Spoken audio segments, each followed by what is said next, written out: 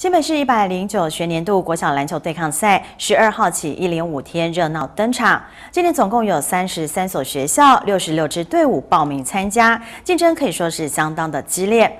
主办单位安坑国小表示，为了防疫，比赛前参赛选手与工作人员都必须进行体温量测。新北市一百零九学年度国小篮球对抗赛十二号到十六号一连五天热闹登场。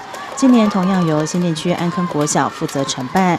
安坑国小校长方庆林表示，新北市各国小近年来努力推广篮球运动，因此参赛队伍逐年增加。今年参赛学校就多达三十三所。新北市篮球对抗赛是我们。新北市政府教育局办的针对篮球运动一个很重要的比赛。那今年总共有三十三所学校，有六十六支队伍来参加。这几天因为天候状况不佳，担心场地湿滑造成选手受伤，因此前两天比赛分别商界有室内场地的学校，直到十四号才将战场移回安坑国校。我们在办今年的篮球对抗赛的时候，的确。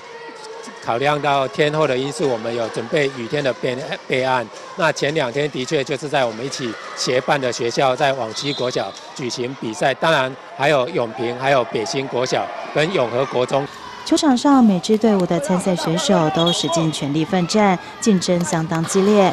方庆林校长指出，受到疫情影响，为了让选手可以安心比赛，所以今年特别严格要求选手必须要量测体温，确保健康无虞。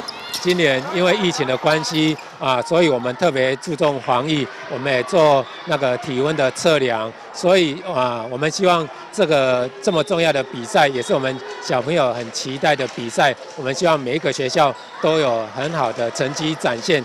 方千林校长也表示，非常感谢新北市教育局积极在国小推动篮球运动，并且举办篮球比赛，让选手们有切磋交流的机会，提升大家的技术。记者陈明张文琪新店采访报道。